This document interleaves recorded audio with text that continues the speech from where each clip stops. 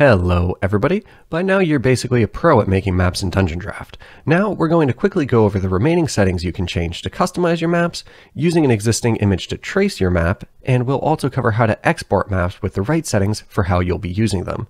As always, there's a link in the description for an article version of this video if you prefer reading or want a quick reference. Let's change over to the settings section of the left-hand sidebar and take a look at the first tool, Map Settings.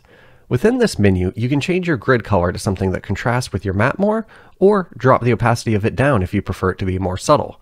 Remember, you can also always turn the grid off by checking that button at the bottom or pressing G. You can also set filters over your map here.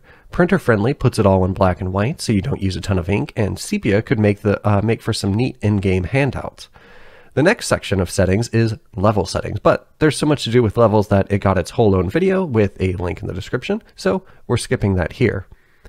The last option in this section is Trace Image, which is another really useful feature. If you're trying to replicate a certain layout, like recreating a map from an existing adventure to use in a VTT, you can upload that image here. It will appear as if behind the map, and you can change its scale and opacity. Click the center button to center it on the map, or drag it around until it's where you want it. You can only move the tracing image when you're on this tab of settings, so if you switch over to start laying out buildings and decide it needs to move, just come back here. Then, when you're done tracing or want a different image, you can click the round arrow button to clear the image away and marvel at the beautiful map you definitely didn't just plagiarize. Now that you know the basics of making awesome maps in Dungeon Draft, let's see how to actually get them out of the canvas and into your printer or VTT of choice.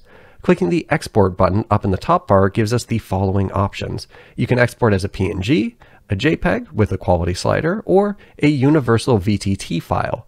If you're using Foundry or another VTT with support, you can import these directly or with a module, and your walls and lights will already be in place, which is pretty rad. If you want to find out how to do this in Foundry, check out my video on Dungeon Draft imports linked down below. You can toggle your grid and lighting on and off from here. You can also select a source level and overlay level if your map has multiple levels, and these settings are discussed in depth over in the multi-level map video.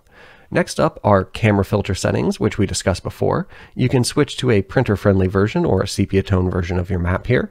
Below that is a grid preset setting, so you can export to specifically fit different sizes, such as 40-inch and 55-inch TVs. Changing the grid preset will change the grid PPI below, but you can also manually set a grid PPI if needed, like if you're intending to print out your map.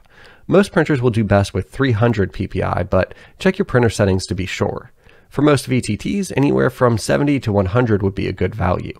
The lower you go, the easier it will be on your friend's systems, but at a slightly lower quality. Once your map is ready to go and your settings are lined up, just hit export and you're all set. Dungeon Draft is a great tool for making custom maps, whether you're printing them or using them on a VTT. I hope this series has been a useful crash course on all the good stuff you can do in Dungeon Draft. If you want to get into using a VTT, I recommend Foundry, and you can check out my Foundry Basics series and Player's Guide, which both have videos and articles linked down below. Have fun, and I'll see you in the next one.